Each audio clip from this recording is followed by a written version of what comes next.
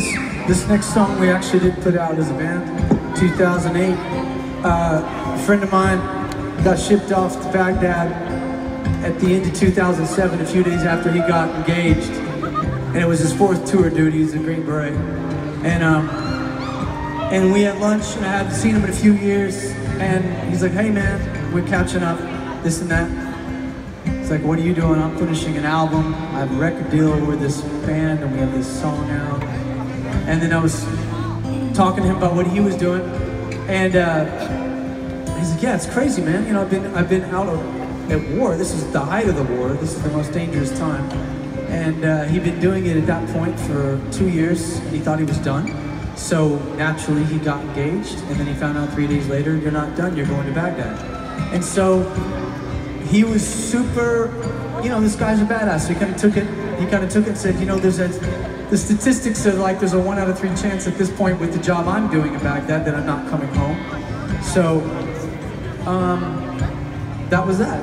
And we gave each other a hug and it was a very, very bizarre lunch experience because it was the only time I remember where I saw someone I was like, there's a good chance I'm never gonna see you again. So, you know, be, be safe.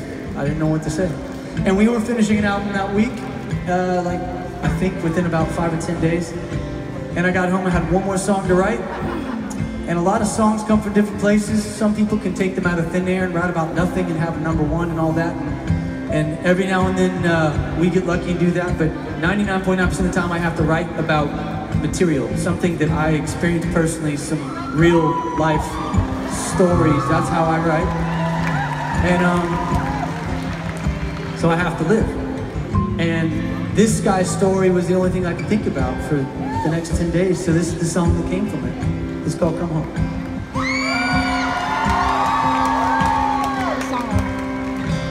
Hello world, hope you're listening. Forgive me if I'm young, or speaking out of turn. But there's someone I've been missing, and I think that they could be better for me. Than in the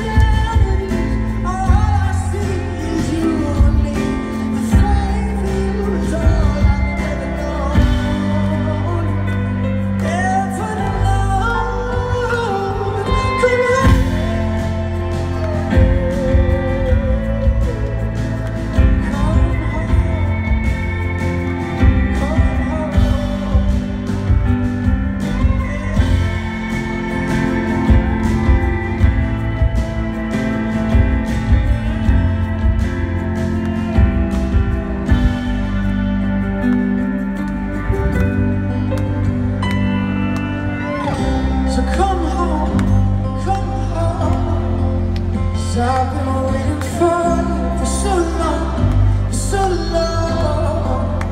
Right now there's a wall between All I see is you and me. The fight for you is all I ever Ever So come home.